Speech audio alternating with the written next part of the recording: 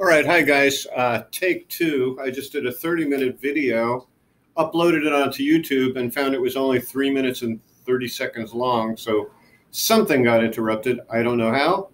So I'm doing my entire lecture over again. Yay. Okay, so before I get started, um, you know, somebody mentioned, uh, somebody made a comment uh, when I complained about the audio on this computer not being good.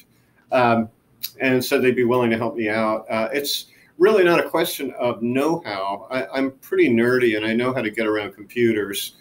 Uh, it's just that uh, combination of uh, bad purchases and really not having the funds to go out and get high quality equipment.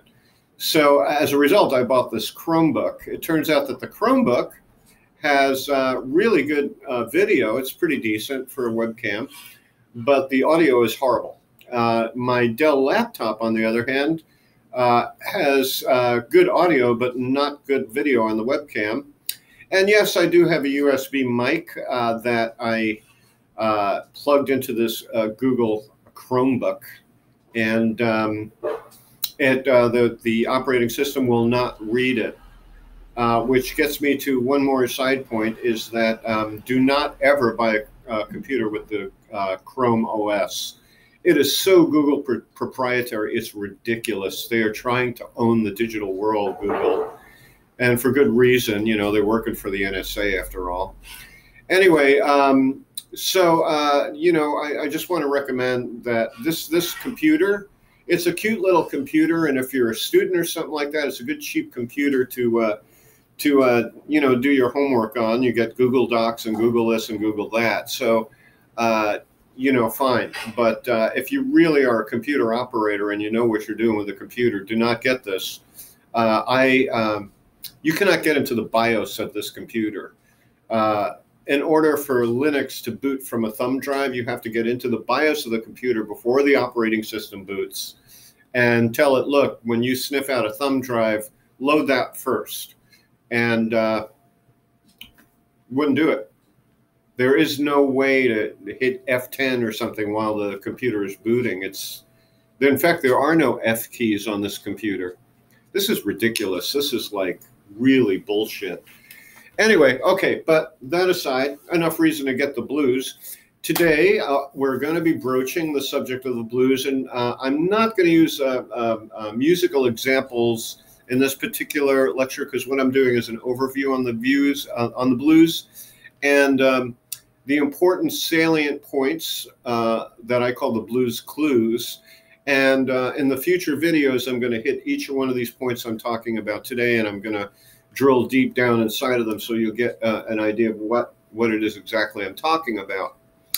Uh, first thing I, I, do want to talk about, and this will explain kind of why uh, I'm doing these lectures and what is wrong with academic studies in that they're not uh, synergistic, they're not holistic, they don't bring in all elements. Um, we have to talk about the Industrial Revolution. Now, any kind of revolution, be it a digital revolution of today or the Industrial Revolution at the turn of the 20th century, these revolutions are not what they are by name. In other words, the Industrial Revolution is not just about industry, that's what they labeled it it was a revolution in thinking. This is when existentialism started to happen. This is when uh, uh, uh, uh, we moved from Romanticism in the classical period into what was called the Impressionist period. And in fact, the Impressionist painters as well came about around this era. Uh, the musical Impressionism was a very short lived moment in music, um, but uh, the actual art, fine art Impressionism lasted a longer time. Uh, there were, was a revolution in communications, electronics. Uh, uh, people became more and more aware of the other cultures of the world. It was a revolution in everything, not just industry. But, you know, capitalism as it is, it's an industrial revolution. Uh, BS.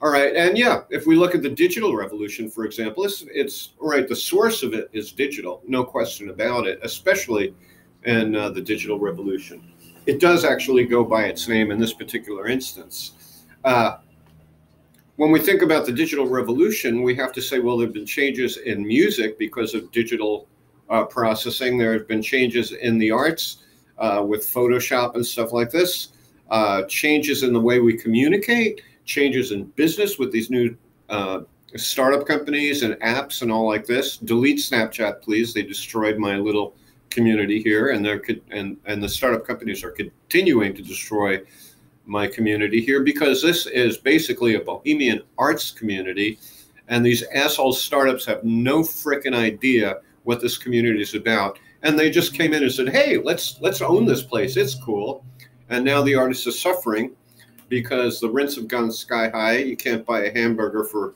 under 10 bucks. And it's just ridiculous. So um, I'm very resentful of that aspect of the digital revolution.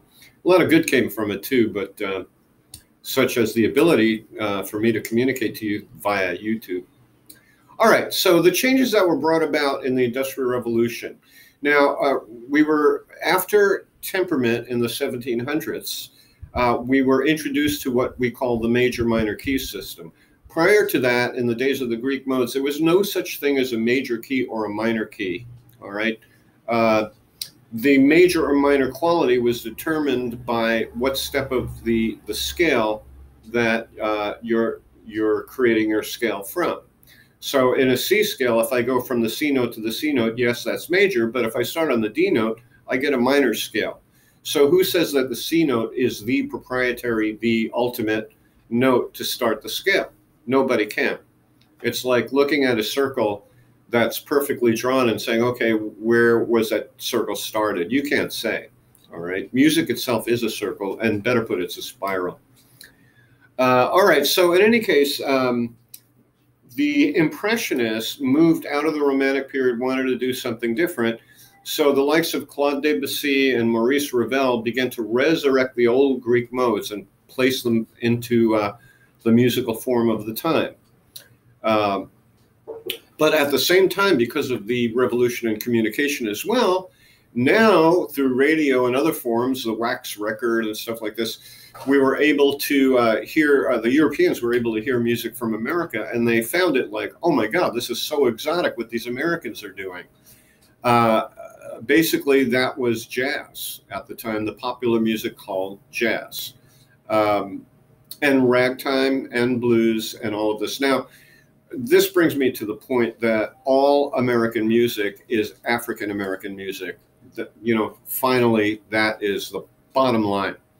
And in fact, when you take some of the European forms that came to America, say for example, Irish folk music, well, yeah, you can still find that now in the Appalachians, but even that became uh, influenced by blues and that's where we got the form called bluegrass. Grass meaning country, blue referring to blues. In other words, they're adding the blue note and blues principles into the country music. So, really, the source of all American music is black.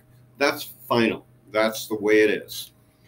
All right, now, um, so the thing is, uh, you know, the changes that occurred in music were happening so fast. It was revolutionary. I mean, within a short period of time, we went from the old classical system to modernism, which brought in uh, Arnold Schoenfeld's totally dissonant uh, 12 dodecaphonic serial system, uh, which was just pure, you know, at a point, pure noise.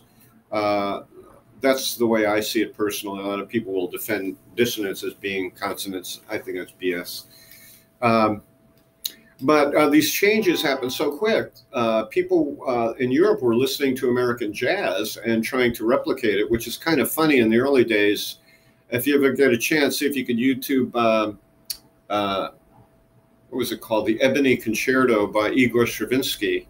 That was his impression of jazz. And the way it sounds, it's like uh, Picasso during his Cubist period looking at at, at curves and, and painting curves, but with cube with the cubist mentality, so you don't see the curves. Uh, the Ebony Concerto has no swing to it whatsoever. It um, has no blues in it. It's just a European impression of American music. It's horrible. It took quite some time before the Europeans to actually uh, to actually learn how to play blues uh, jazz correctly. Um, if you take a, any music score uh, uh, of a film of, from the early 60s that was a European music score, score, emulating jazz. listen to it. It's it's really corny and it just doesn't have the soul and essence of American jazz. It took a while. Uh, but then the Europeans got it, and then the Japanese caught on, and they're like trying to play jazz. And initially, they were really stiff and couldn't get it. And now Japanese jazz musicians are just every bit as good as American jazz musicians.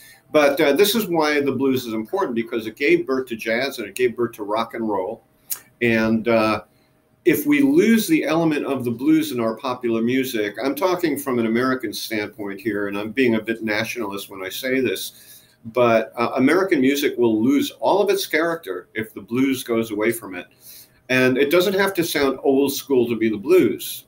Uh, I've heard uh, EDM composers incorporating elements of gospel and blues into their music, and it's doable and it's cool. I had a student who was an EDM composer ask me, "What what is this that these guys are doing here?" And I said, "Dude, uh, are these white guys? Because it sounds like this sounds like gospel and this sounds like blues over here, and I'll show you why the blue note is being incorporated into their music. Totally cool stuff. Let's not lose the blues. This is really important." All right. So anyway, moving on. Uh, if we look at the history of these three systems I talk about, the first system was the Greek modes, and uh, that would be isolated keys because of temperament. Uh, uh temperament didn't happen yet, so keys could could not work together. Uh, it's very difficult to explain. If you do some research into temperament, you'll get what I'm saying. Um, but the keys are isolated from each other, meaning if I had an instrument uh, tuned perfectly to one key and I tried to modulate to a different key using that instrument, it would sound terribly out of tune. Uh, so the keys were isolated from each other. It took Bach and his cronies to come along in around the 1700s and start tweaking the chromatic scale in such a way that they created what was called, what is now called equal temperament, where uh, the distances between every single note in the chromatic series, the ratios are exactly the same because nature didn't give it to us that way. This gave us the ability to now, in one key, uh, piece of music, to incorporate notes and chords from other keys into that piece. I call this interactive keys. The first system is called isolated keys. The second system is called interactive keys because the, the keys will interact with one another, but uh, it's kind of like like the internet, we can interact, but we can't be in the same space. Uh, similarly, with the interactive keys of the major minor key system, I could have four bars of music that goes out of the key for a moment, but then eventually comes back to the key I was in. Unless, of course, it's a dedicated modulation to a different key. But the idea is here you can incorporate elements from other keys, but they're like modular units. Okay, for a moment I'm in A minor, but then I go back to the key of G.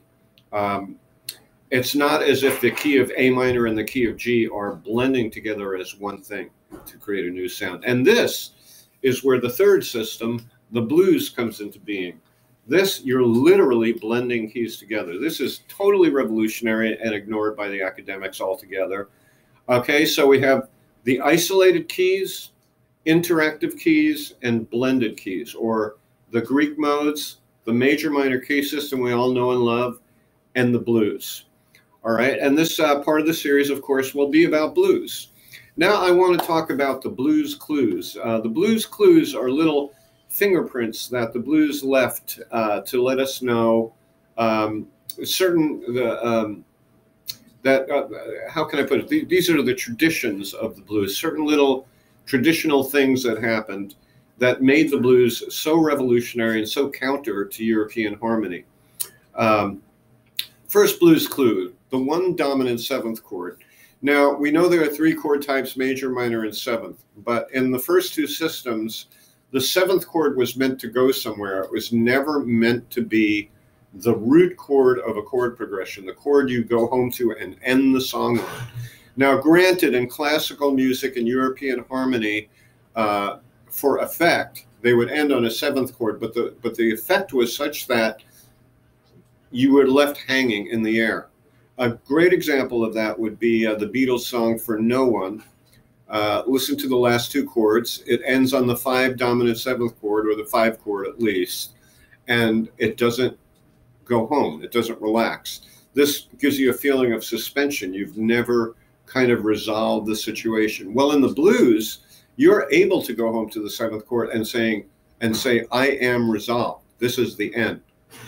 Uh, this alone is radical. This would never ever be done in classical uh, European music. Uh, the second blues clue is minor under major. A minor, uh, um, major chord progression, major key rooted chord progression with a minor scale melody being played under that. So I call it uh, minor under major. Chords take precedence over notes. All right. So chords are like a gang of notes, so they have more power. And a bunch of chords will create an entire chord environment, meaning a root, a major, minor, uh, or major or minor root that you go home to and then end the song on. Okay. Um, in the blues, ostensibly, now a seventh chord is a major chord. It's just you're adding one note to it, and it gives it a slightly different character than the major chord. In fact, um, seriously different character because it's it has a certain amount of tension to it. Uh, and here they are playing the minor scale under this major chord environment or dominant seventh chord environment. That alone, that second point, is another thing that would never ever be done in the old systems. Okay. Um, uh, if you went to Bach and said, uh, "Oh, you got a major chord progression there. Why don't you play a minor scale underneath that? See what it sounds like." Bach wouldn't even venture to do that. Okay, he would not. Uh, he would not uh, uh, find that to be. It would be so against the grain of standard thinking that it simply wouldn't be done. It wouldn't be considered. Okay, but the blues does just this. And in fact, if uh, if Bach was around today, he'd probably totally dig it. Um, all right, now uh, the next blues clue is four dominant seven to one. What is four dominant seven? Uh, if we look at the chord family template, we know that the one, the four, and the five chord are major, whereas the, the five chord is dominant seven, but still major. Now, what, uh, so in, in the key of C, we have C, F, and G. F to C is four to one. So the difference in blues is four dominant seven to one dominant seven. This four dominant seven to one uh, came from an old tradition. Uh, it has a name in classical. Well, not the four to one, without the dominant sevens, uh, was called the plagal cadence in in uh, in uh, classical music, and that's instead of this, you get this. And uh, anybody who's old enough might remember the old church resolution. That was an old tradition, the plagal cadence and uh, church hymns. Now, this uh, tradition of ending on a plagal cadence was absorbed by the black community when they converted to Christianity back in the slave days. Some of them uh, began converting to Christianity and emulating the white churches, they took in the plagal cadence. And so you had four to one, the Amen cadence. Now, what differs and uh, is that the blues cadence is four dominant seven to one dominant seven. So just so you can hear the difference, and here's the blues cadence. Okay. Um, interestingly, the the uh, uh, gospel adherents and the blues adherents were at odds with each other because the gospel people thought that the blues uh, music was sacrilegious because it dealt with themes of uh, lust and and uh, such. So uh, uh, you know, with the church Christianity, thought that was bad stuff.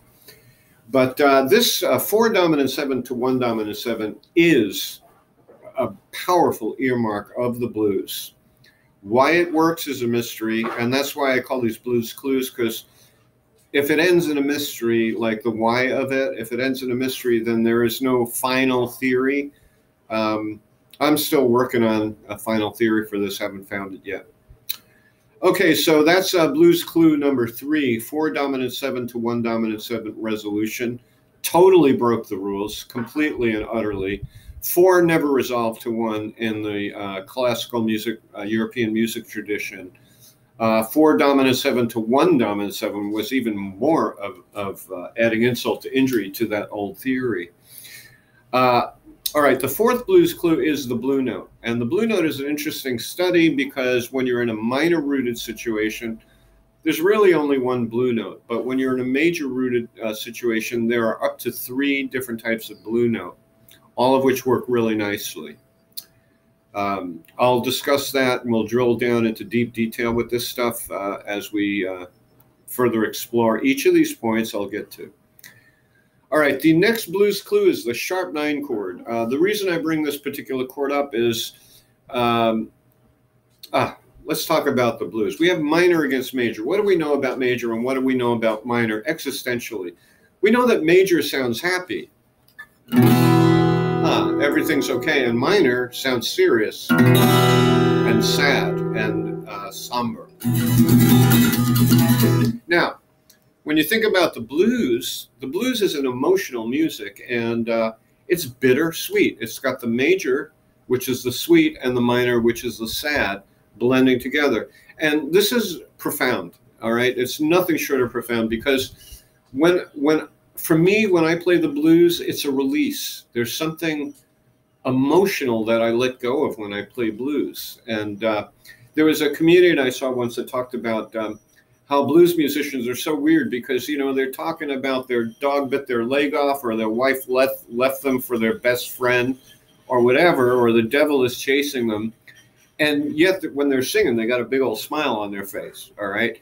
That is the transformation that makes the blues. In other words when you're you must know as a musician when you're feeling down and out and nothing else is working in your life you pick up your instrument and play and suddenly it feels like you got your mind off all that shit and you're you're feeling good again at least for the moment. That's the beauty of music in general. All right so the sharp nine chord contains both major and minor and dominant seven. So all now remember i said key blending. All three chords become blended together as one chord.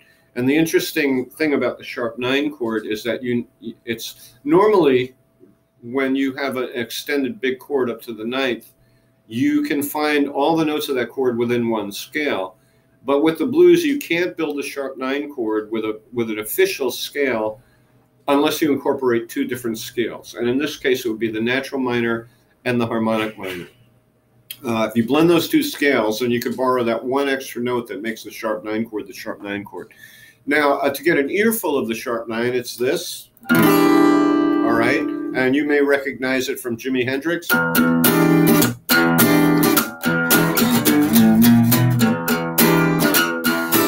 That's uh, they used to call this the Hendrix chord, and uh, when I was a kid, the ones that wanted to sound more sophisticated called it the major minor chord.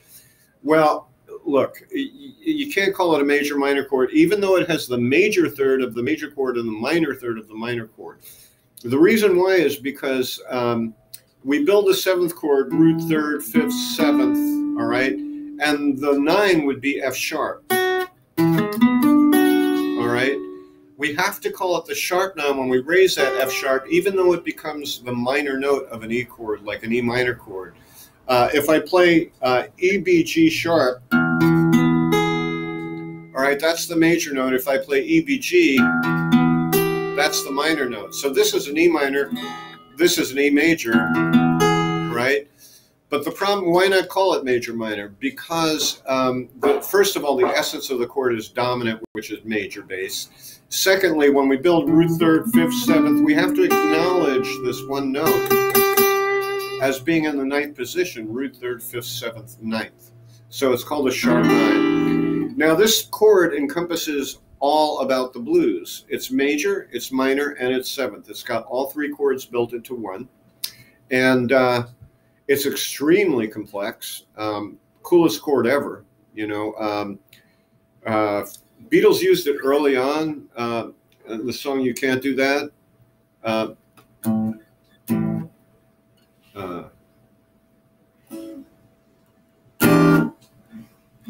because I told you before, you can't do that. But it's also in the uh, song "Taxman."